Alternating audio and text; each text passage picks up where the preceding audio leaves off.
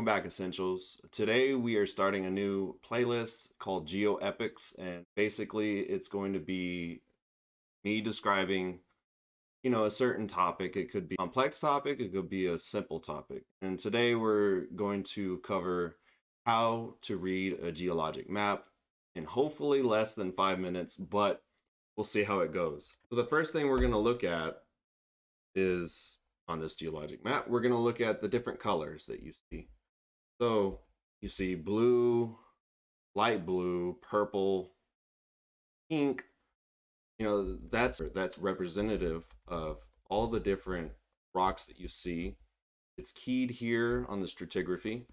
So the pink is Fusselman, and it also has letters tied to it. So not only a color, but you have letters and S is Silurian, that's the age of the rock, and then the F is for the name of the rock. So Canutillo is kind of a light grayish blue BC in it, that's Devonian Canutillo, Percha Shale, which we don't see in this map, but uh, Las Cruces has a light blue to it, it's MLC, so you can kind of distinguish it that way too.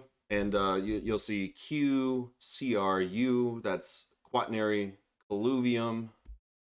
The yellow is quaternary alluvium. Quaternary is going to be the youngest sediments in the area. You'll see these lines between the rocks. They're solid, so that means a sharp contact between these two rocks. If you see these are dashed, that means that it's uh, inferred or um, you can't be seen, you can't see it, or it's not well exposed, so on and so forth as you can see with this fault line, actually, it's dashed because you can't see it. It goes under the quaternary alluvium and alluvium. And obviously you have a this line. This is an inferred fault, a normal fault. That's what this line represents. This this line is solid, so you can see it. It's an obvious contact. Same with this one. And then this symbol is a strike dip. That's the strike and dip of the bed that they took a measurement on. And then you have a fold up here, which is what this arrow represents. That represents the trend and plunge of a uh, of this fold.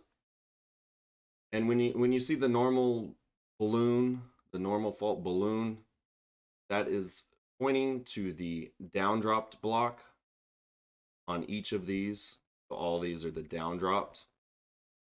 And when you're in the field, you can identify a fault by seeing that a Silurian Fusselman is in contact with a Pennsylvanian carbonate, and those two should not be in contact with one another because there's too much geologic time missing, at least 110 million years. And then you, you also have what are called cross-section lines. That's these lines right here. And it's tied to this cross-section over on this side. See? It's basically a, a slice of the earth as if you were looking underground based on the rocks that you see at the surface, you can draw what's called a cross section, and you also have a you obviously have a fault. And there's three cross sections on the map. Another important thing, you you have your title, you have your authors, you have your scale, 1 to 24,000, which is typical of a geologic map. That's a that's a good scale. Uh, that many inches is one mile on the map.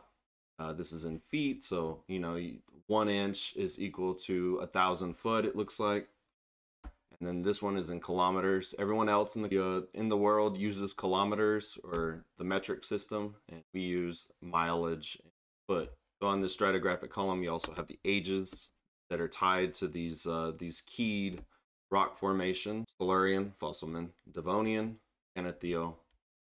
And then on the right side of this map, is just an abstract. You know, the, it's an explanation of each rock. And one thing you'll notice is this is over a topographic map, so you see the, the contour lines. This is obviously your higher points up here. And here we have, uh, see the fault trace is right here. Can't see it because it's covered, but it, uh, it follows all the way up here. This has a trend of 42. One thing about identifying faults is also change in strike and dip. As you can see, the dip 25 for this strike and dip symbol, and it changes to 35. So that's another way to identify a fault in the field. That's pretty much the quick way to explain how to describe a geologic map. If there's any other episodes that you would like to see for these this Geo Epochs playlist, please let me know in the comment section. Otherwise, I have a list of stuff that I'd like to go over. I'd like to release at least one a week describing geologic concepts quickly, you know. And I, I figured this was a good way to start. So thank y'all for watching. Later, Essential.